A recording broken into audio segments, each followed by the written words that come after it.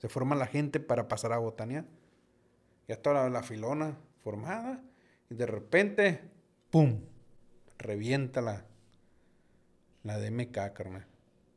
En el instante creo que fallecieron dos. Ahí estábamos entre todo. El oficial de tiro ahí temblando porque le dimos vuelta al tubo para sacarla. Este fue el primer fallo. El segundo fallo fue de que metimos una y se va. Sea, dormir en el ejército es lo más codiciado, viejo. Y no montar de servicio en una noche, que puedas dormir toda la noche, eso es un lujazo. La neta, es un lujo que no se lo imaginan. Como dices tú, muchos se reclasifican para ponerse relajados, los de sanidad, no es por echarle el servicio, ¿verdad?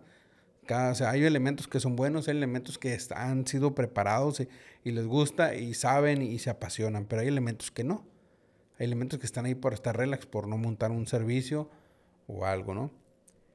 Fíjate, yo conocía a, sanidades que en su mochila, su botiquín, viejo, no llevaban nada, carnal, ¿eh? No llevaban nada. ¿Para qué? Para no cargar en la sierra. Andas caminando para no cargar. No llevaban, o sea, llevaban un, un suerito, este, cosas muy básicas, pero no llevaban este, artículos o, o insumos para poder atender este tipo de casos. Imagínate, ahorita como se están presentando eh, los casos de las minas, tú dices, ah, es una mina, pues es algo, uy, es algo, ah, es sorprendente, pero no, no creo que vuelva a pasar. Es como lo de los drones que tiran sus bombitas del aire, viejo. O sea, tú dices, ay, güey, ah, pues pasó una vez, dos veces, ya no va a volver a pasar. No, no se sabe, viejo. Y si lo están implementando es porque lo van a estar haciendo. Va a haber minas donde va a haber donde los lugares concurridos por el personal militar o como tipo emboscadas para emboscar al personal militar, viejo. ¿Por qué? Porque ellos no van a pasar por ahí, carnal. Pero si llega personal militar que va de apoyo a otro estado, que va a andar reconociendo, anda haciendo patrullamientos eh, por todos lados y anda haciendo, o sea, reconocimiento, pues claro que ese personal va a caer en la mina, carnal. Va a caer en la mina y el personal debe de estar preparado, viejo. Como lo decía el sargento, a ellos le pasaron la pauta, ¿sabes qué? Pues aunque avance 100 metros en una hora, pero vete despacito y ve checando el terreno, la vigilancia y un güey que vaya variando, ¿no? Que vaya con la varita ahí checando, que vaya limpiando el camino, porque con uno que caiga ahí, ¡fuc! se va bajo la moral, como, como decía, ¿y para qué están hechas las minas? Para bajarle la moral del personal. Le huele las patas a uno, le baja la moral otro personal, se destantea, eh, eh, o sea, ya se vuelve una carga al elemento que, que le pasó eso. ¿Por qué? Porque lo tienes que evacuar, le tienes que dar las primeras atenciones y lo tienes que evacuar. ¿Y qué? Se limita la operación. Exactamente, te digo, es por falta eh, de que te haces mucha confianza. Y te digo, así han pasado muchas cosas, muchos enfrentamientos con los compañeros, te digo, pero ¿qué podemos hacer, no? O sea, realmente dices tú, cada cabecita tiene su mundo y pues tú no puedes cambiarlo, ¿no? Ya ahorita el adiestramiento actual en los casires ya no es el mismo adiestramiento que yo recibí, que tú recibiste hace años atrás, estamos hablando, no es de ahorita. Ahorita ya totalmente está muy cambiado, ¿no? Ahorita ya el soldado recluta ya le ordena pues al sargento, al oficial ya veterano de guerra, ¿no? Que antes eso era una falta de respeto, güey. Como los videos del Merchan, ¿no?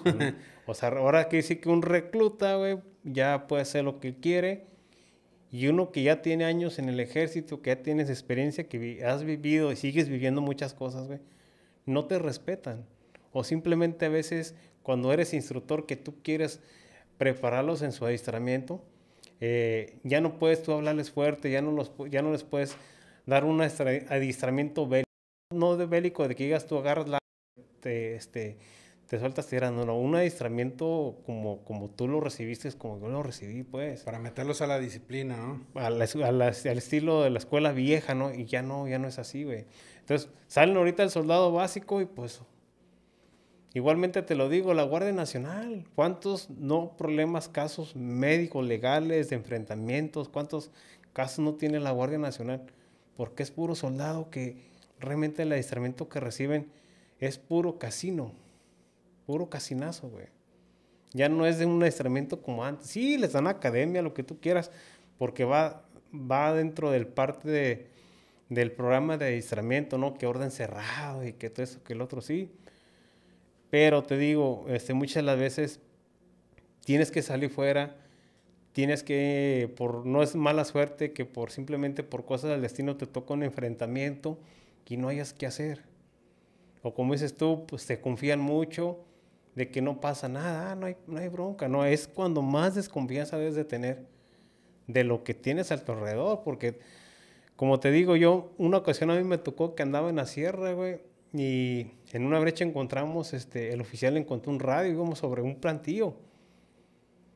Lo bueno que el oficial encontró ese radio y en ese radio empezamos a escuchar cómo se estaban este, hablando por red, monitoreándose y nos decían en qué posición estábamos y por dónde íbamos. Pero como el oficial traía el radio, lo que hicimos nosotros pues, fue hacer una estrategia pues de que como que nos escondimos entre una brecha entre, entre los pinos de la sierra, todo eso pues ya, ya no nos detectaron, güey, pero estábamos escuchando todo lo que nos decían.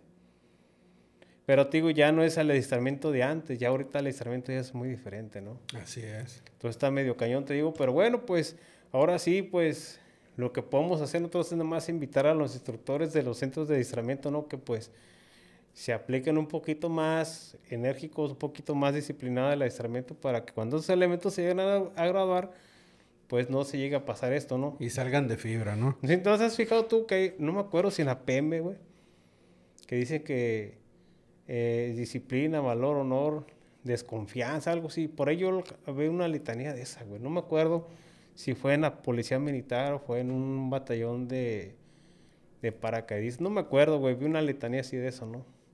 Que sí lo aplican, ¿no? Y, o creo que en un batallón de infantería. No me acuerdo. ¿Para qué te voy a mentir, no? Pero siempre hay que tener desconfianza, güey. Así es. Y fíjate, regresando un poquito al tema que contabas tú, de los que les tronó la, la, la granada, viejo. Ahí les va. Ahí les va. Yo sí me la sé. No les voy a decir el motivo por qué, pero sí, sí me la sé. Haz de cuenta que estaban varios batallones, creo que estaban dos batallones en adiestramiento. X batallón y X batallón. Cuando les toca eh, lo que es las armas colectivas, ¿no? Entre ellos el, mortero, eh, la MK, eh, el HK y todo eso, ya ves que hay un, hay un punto de la fase de adiestramiento donde se utilizan estos artefactos. Entonces ya pasan, tiran y todo el rollo. Eh, estos elementos se encuentran, para aquellos que no conocen la granada del MK, pues ya saben, ¿no? y trae como una bolita, ¿no? Que es la, la, granada. La gente que sepa, eh, pues coméntelo aquí. Los que saben las palabras técnicas, coméntenlas igual aquí abajo. El caso que uno de ellos se le hizo algo como un trofeo, dijo, ay, mira lo que me encontré, me lo voy a llevar para mi casa Llego, lo cuelgo aquí, lo pongo y todo el rollo, ¿no? Pero pues ya te le sabes que el soldado a la hora del bofe es la hora del bofe, viejo. O sea, separan actividades y bofe es bofe. O sea, es a la hora de que pasaron a comer, pues en el centro de adiestramiento es un lugar a la intemperie, al aire libre, que prácticamente no hay comedor, no hay sillas. Ya está pasando, se forma la raza, llegan los de intendencia, ponen todos los, las, ¿cómo se llaman? Las charolonas, esas tienen su nombre, güey. No me acuerdo cómo se llaman. Caso que ponen todo su rollo ahí y empiezan la, las, charolas de acero inoxidable. No, no, no, pero las ollas, las tienen su nombre, ¿no? Creo cómo le llaman ahí. Se me olvidó, ahorita se me acuerdo, les digo. El caso es que se forma la raza. Se forma la gente para pasar a botanía. Ya está la, la filona formada. Y de repente, ¡pum! Revienta la, la DMK, carnal en el instante creo que fallecieron dos. En el instante fallecieron dos. Y hubo, pues con las esquirlas, pues varios güeyes que, que resultaron dañados ahí. Y pues, posterior a eso, eh, cuando yo a mí me tocó ir a adiestramiento, pues era, la, era lo que se contaba, ¿no? No les quiero decir exactamente de dónde yo escuché eso, porque no me quiero meter más allá. Pero cuando yo fui tirador de mortero, viejo, que estábamos en el adiestramiento a nivel unidad, pues estábamos tirando, ¿no? Granadas. Eh, yo tengo aproximadamente entre 50 y 60 granadas de mortero aproximadamente que yo que me tocó tirar, ¿no? Entonces una de ellas, viejo, eh, estábamos, yo era, como dices tú, ¿no? Yo era el que metía la granada. Sale, recibo una granada calibre 60 milímetros, está, está la letanía, ya te la sabe, ¿no? Cuando listo es fuego, sale, y estás con cuenta que este es el tubo cañón y estás así. Ya te gritan fuego y la sueltas y vámonos recio, ¿no? Y de y no sale, güey, se queda la granada. Y pues las acciones que debes de tomar es darle una patadita, que esto y lo otro, para que muchas veces se queda atorado en el tubo y no baja. Unas pataditas. No, pero el caso que no bajó la granada, viejo. Y ya, pues, ay, no, pues falla de no sé qué pedo. Y todo mundo se abrió, carnal. Y nos dejaron nada más a los de la pieza, que era el tirador, el, granadero y el soldado primera, que es el que le mueve ahí los miles, que hace la, el que la distancia y todo ese pedo, ¿no? Y el oficial de tiro entonces, pues ahí estábamos entre todo. el oficial de tiro ahí temblando porque le dimos vuelta al tubo para sacarla. Sale, este fue el primer fallo. El segundo fallo fue de que metimos una y se va, güey.